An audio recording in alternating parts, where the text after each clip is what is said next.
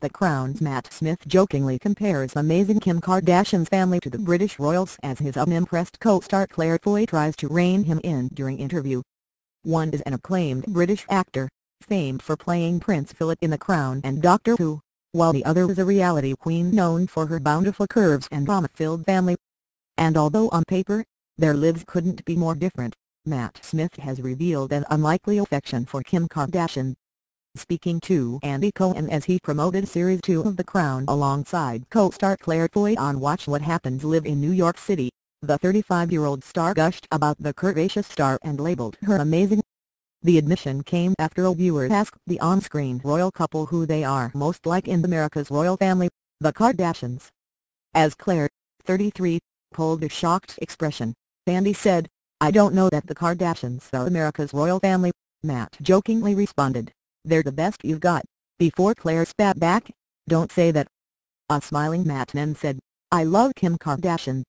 I think she's sort of amazing, before laughing and pointing at a stony-faced Claire, saying look at that face with Andy noting, she begs to differ. Series 2 of the Emmy and Golden Globe winning show, which premiere on Friday, is the last series where Claire and Matt will play Queen Elizabeth II and Prince Philip. Series 3 of The Crown will see Olivia Colman take on a role of the monarch during the 1950s and 60s. It has not yet been announced who will play Prince Philip. As an intrigued Andy asked the pair when Princess Diana would appear in the hit show it led to some confusion between the pair with Matt appearing to reveal a spoiler for Series 4. He said, Does Diana appear in the next season or the one after?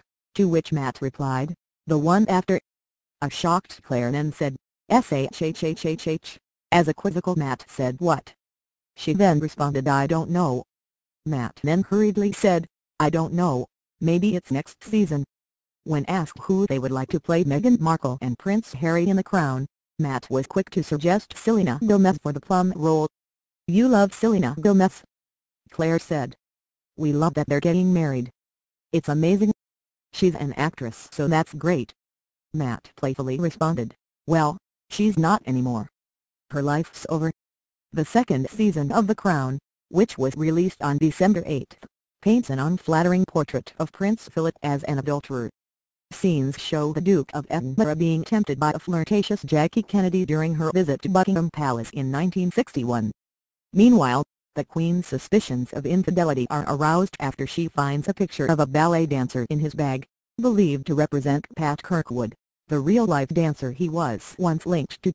The Netflix show also suggests he was romantically involved with women on a 1956-7 tour of Commonwealth countries without his wife, aboard the HMS Britannia.